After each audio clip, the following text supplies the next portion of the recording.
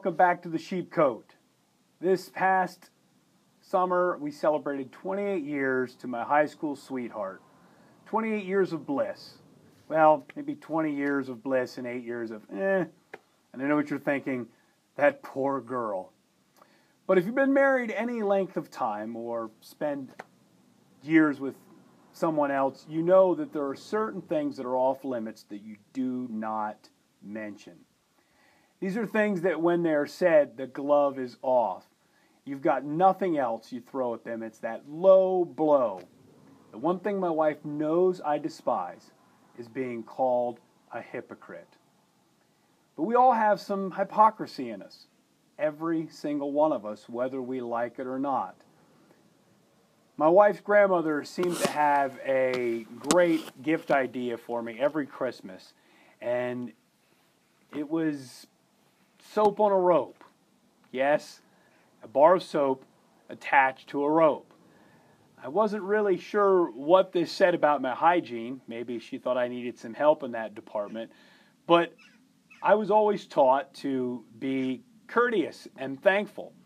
So, what did I always tell her? Thank you, Nan. I so appreciate it.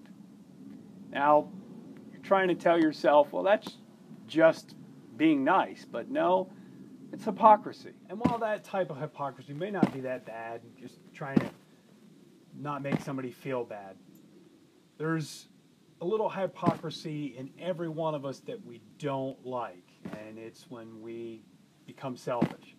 One of my biggest struggles in this land is the traffic. Living the majority of my life in a rural area, our biggest traffic jam was when the auction barn was closing on Tuesdays in Dewart. Not much of anything. Now, my life is an absolute traffic jam. And most of you won't believe this, but I'm an aggressive driver. Yes, those that have driven with me are doubting it, but it's true. However, I'm also a courteous driver. I let people in, I wait my turn, I give thank you waves, all unheard of concepts in the Middle East. But with that being courteous, I want others to be courteous. Don't hold up traffic. And one of the things that drives me nuts in holding up traffic in this land is the bicycles. The bicycles get in the street and they're not pedaling obviously as fast as a car and people are slowing down and blowing their horn and trying to get out of the way and I say to myself, why can't they just ride on the sidewalks and get out of the way? But another thing that can be crowded here is the sidewalks. And there's nothing worse than being on the sidewalk and having someone on a bicycle ride by you. You got to move out of the way. You got to worry that their handlebars are going to hit you in the back, run into you. And I found myself saying, why can't they just ride on the street?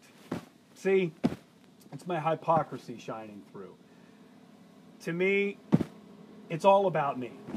I'm upset when I'm driving and they're not on the sidewalk but when I'm walking, I'm upset that they're on the sidewalk and not in the street. They'll do it. It's something that the real root of it is nothing more than just selfishness. It all has to do about me. We've got to stop it. Now, nobody wants to be known as a hypocrite. It's a very ugly word.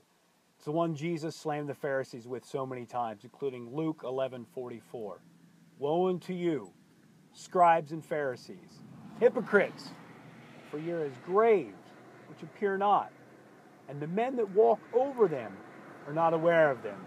He said, You're like dead men's bones inside. Outside you look good, but inside you are full of nothing but dead men's bones. And we live in a very selfish day and age.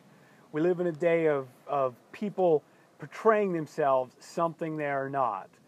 The day of hypocrites, of which I can be chief.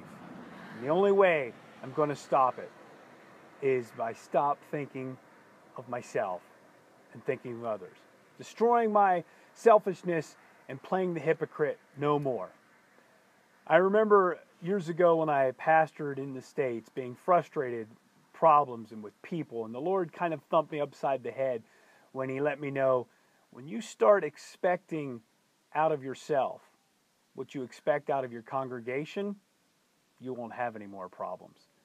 Ouch. Yeah, not a real ringing endorsement.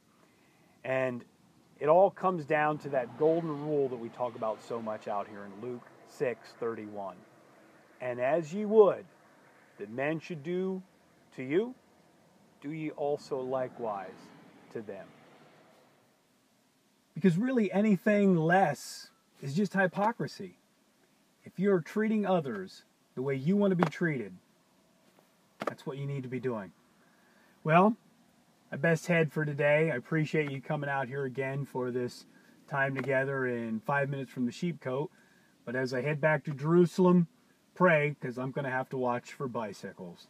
And whether I like it or not, hopefully are on the road where they belong. Lord bless. Goodbye.